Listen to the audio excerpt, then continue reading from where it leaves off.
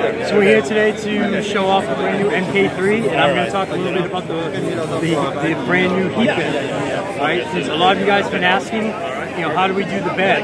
And so this is it. You'll see it over there in a minute.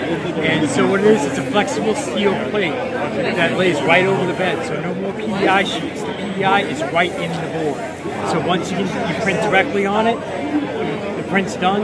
You let, take it right off the, the print, lift the plate up, put it off to the side, you let it cool, it'll pop right off board, just bend the board, it'll pop right off there. We've spent, since the beginning of the year, using this board in our print farms with about 300 printers that run 24-7. So we put that bed through every possible test we can think of, and come out with flying colors. So you actually listened to all the users and you took that input Oh, yes. and came out with an awesome build plate. Oh yes, we listen to every single. When a customer sits there and says, you know, hey, I have an idea, you know, we don't just ignore it. We do pass along that information. Our developers do get that. They, they hear what people are saying, you know, through, through Facebook, through Reddit, through every possible way, and then we'll sit there and the developers will take all that and figure out what to do to improve it. You know, our developers work harder than anyone else because they're always working.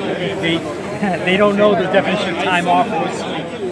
Recently on 3DP, we saw the behind the scenes uh, at the Prusa Research uh, facilities. And one thing I noticed is the QC that goes into the product. Yes, we take a lot of time as far as doing quality assurance, making sure the parts all work from the printed parts all the way to the electronics part. And as you said, people are like, I want it out the door now.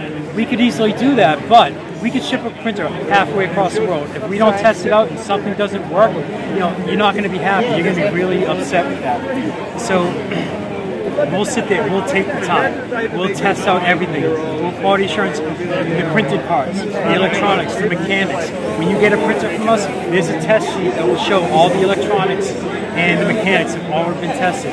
The printed parts, all of them go through a bridge test to make sure that everything works right, that everything fits the way it's supposed to. Made the announcement. Outstanding. And what is going to be the lead time on these new build plates? Well, realistically, right now, I mean, we just announced the kit and everything else.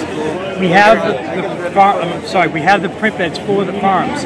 Um, so as far as the exact lead time, that's something that we would need to sit, sit down with the developers, with the production team to really figure out exactly how long that will take. Because once these things, people are going to start ordering them, we're going to get slammed with a lot of orders. So we really just sit there and have the time to make sure that it's all done right. So unfortunately, right now, I can't give you that answer. But if you go to prusa3d.com, sign up for the newsletter. Yeah, yeah. Anytime we release anything, So are it's there, there uh, first.